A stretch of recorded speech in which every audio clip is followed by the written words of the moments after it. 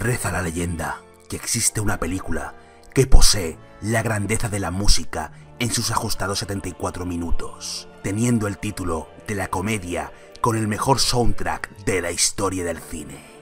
Ah, que no me creéis. Pues vamos allá.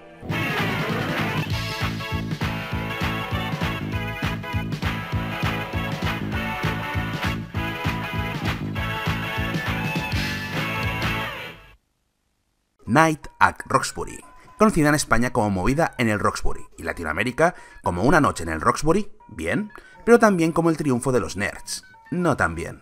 En fin, es lo que hay. Prosigamos.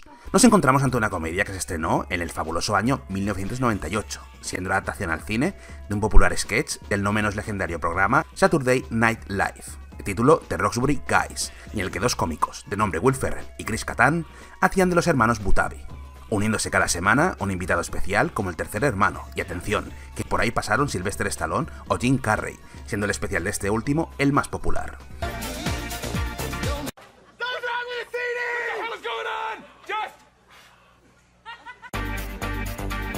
La idea del tercer hermano se descartó para la película. Y de ahí viene todo, así que dada la explicación, entremos en materia, comenzando por lo más importante, porque creo que esta hilarante comedia tiene el mejor soundtrack de la historia del cine. Pues en este caso, un sonido vale más que mil palabras.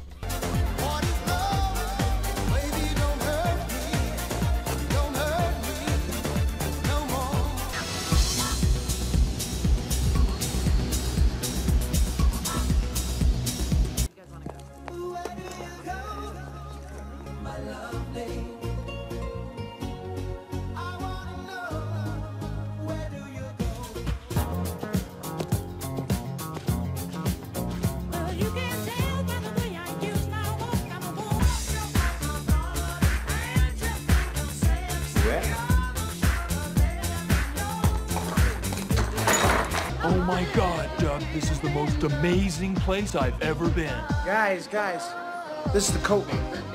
Club's in here.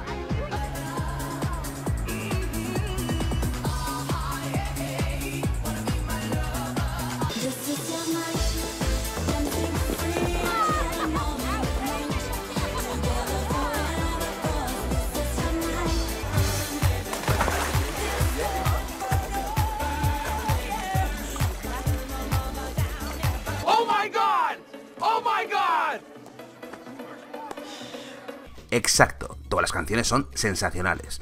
Pero es que si recurres al soundtrack completo, que tendréis en la descripción, por aquello de si os pica la curiosidad, que espero que sí, comprobaréis que es un mix sin pausas, es decir, se conectan todas las malditas canciones. Imagina que tienes una boda y no tienes dineritos para el DJ. Aquí tienes la solución. Y- te vale para fiestas universitarias, despedidas de soltero, comuniones, bautizos, lo que quieras. En serio, este soundtrack es oro puro, y veréis que hay un matiz en el título, ya que digo la comedia. Porque es cierto que el loco de Quentin Tarantino tiene un gusto musical exquisito, y- nos ha regalado composiciones auditivas magistrales. Pero el género que nos ocupa, Movida en el Roxbury, es imbatible. Y si tú crees que no, te reto a que, a que me lo demuestres. Spoiler, vas a perder. Por cierto, tanto el sketch como la película popularizaron el mítico tema What is Love de Hathaway, que no es del propio film, pero se mimetiza de tal forma con la narración, hasta el punto de sonar cuatro veces, nunca estando de más, es imposible desasociar esta pieza maestra de la comedia del 98. Magia, señoras y señores. Y una vez resuelto el tema de la música, conviene dejarlo claro, la película no es buena. Hablando desde la objetividad, por supuesto. Porque desde la subjetividad es una de las comedias de mi infancia, y quien se meta con ella se las verá conmigo. Todo depende de si aceptas las reglas del juego y, te dejas embaucar por los adorables hermanos Butabi en su búsqueda del amor y la marcha.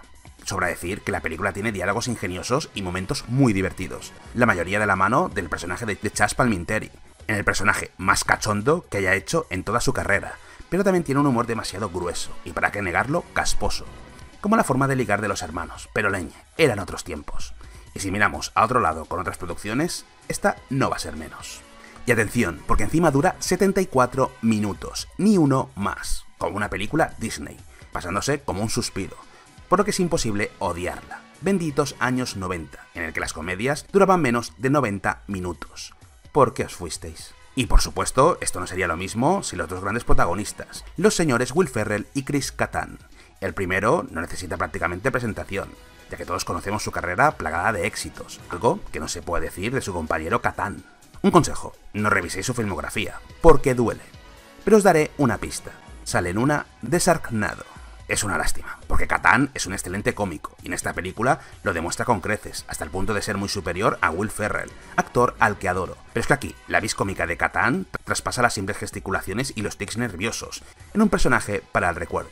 Bueno, ambos están estupendos, pero creo, humildemente, que los dos actores deberían haber gozado de la misma fama. Cosas que pasan. De Palminteri ya he hablado, dejando claro que sus intervenciones son impagables, con un gag del culo que jamás se agota. Hey! Who grabbed my ass? Did you grab my ass? No, sir, I did not grab your ass. It's okay if you did. Así que me centraré en el resto de secundarios, como un divertido Dan Edaya, una magnífica Molly Shannon, clavando el papel de sucubo sin escrúpulos, un adorable Lynn Monroe, con un personaje al que es imposible no querer, o unos anecdóticos Jennifer Coolidge, ya sabéis, la madre de Stifler, Eva Méndez, recordándonos que no sabe actuar, o Michael Clare Duncan, de portero imbatible. Se te echa de menos, grandullón.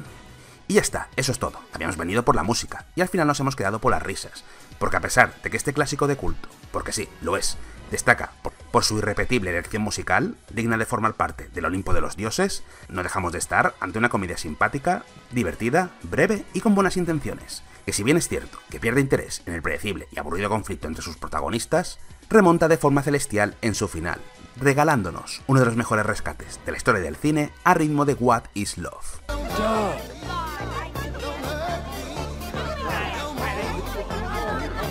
Y eso, queridos míos, es cine. Que siga la marcha, hermanos Butabi.